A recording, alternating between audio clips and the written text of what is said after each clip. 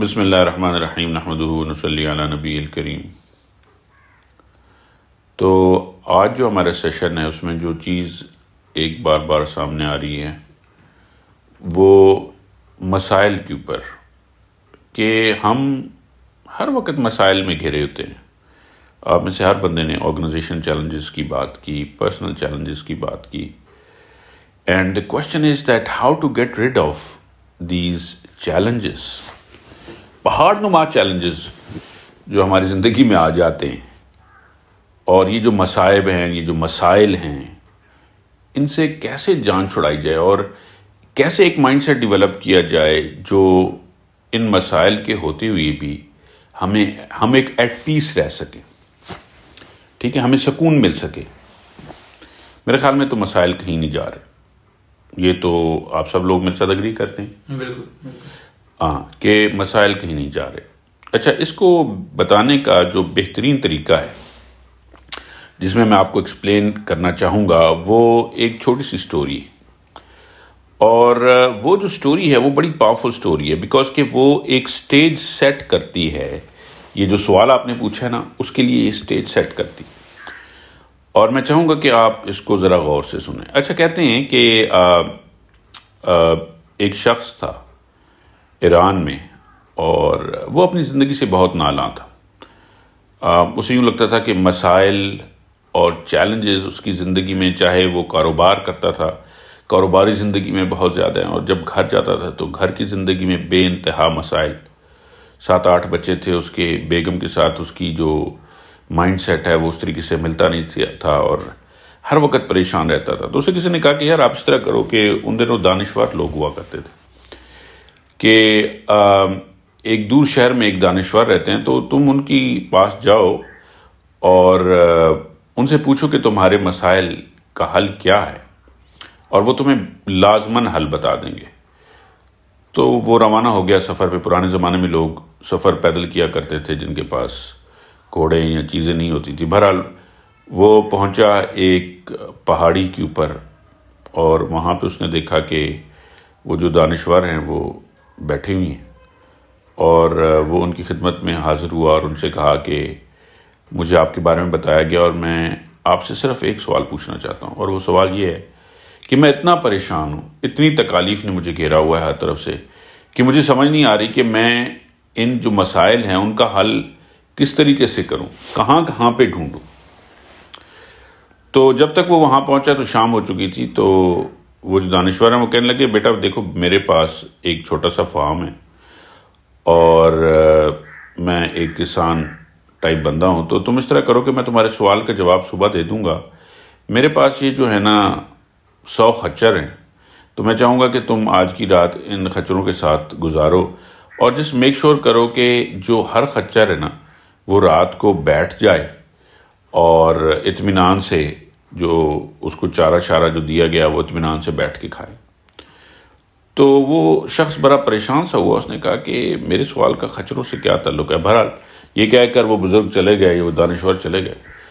और ये फिर पूरी रात उन खचरों को बिठाता रहा कि किसी तरीके से वो बैठें और इतमान से खाना खाएँ। तो क्या हो कि जब वो दस खच्चरों को बिठाए तो पाँच खड़े हो जाएँ। जब पाँच को बिठाए तो एक खड़ा हो जाए, एक को बिठाए तो तीन खड़े हो जाएँ। बहरहाल इसी तक दौ में उसकी रात गुजर गई और सुबह फजर के वक्त वो जो दानश्वर हैं वो आए। तो उनने पूछा बेटा तुम्हारी रात उम्मीद है कि बहुत अच्छी गुजरी होगी और इतमान और सुकून के साथ तुम सोए होगे? तो उसने कहा कि बात यह हज़रत कि मैं तो सो ही नहीं पाया। ये जो खच्चर हैं इन्होंने तो मुझे ये तो बैठती नहीं। आ, और मैं पूरी रात जो है आ, मैंने आ, एक लम्हे के लिए भी नहीं सो पाया। और मैं बड़ा परेशान रहा, क्योंकि ये जो खच्चर हैं, ये तो मेरी बात मानते ही नहीं थे। और जिस तरीके से आपने कहा था कि इनको बिठाना है तो इनमें से चंद बैठे हैं, बाकी खड़े रहें तो दानुशा कहने लगे कि बेशक बात यह है कि जो ज़िंदगी में जो मसाइल हैं ना, हमारी ज़िंदगी में जो मसले मसाइल हैं, वो भी इन खच्चरों की माने दें या इन गधों की माने दें जो भी आप जानवर समझ लें, कि ये कभी बैठते नहीं हैं। आप एक चीज़ को हल करोगे तो दो मसले और ठीक हो जाएँगे। आप समझोगे कि मैंने दो मसले हल कर लिए तो कहीं एक बहुत बड़ा नया मसला खड़ा हो जाएगा। और जब ये मसले खड़े हो जाते हैं ना हमारी ज़िंदगी में तो हम परेशान हो जाते हैं।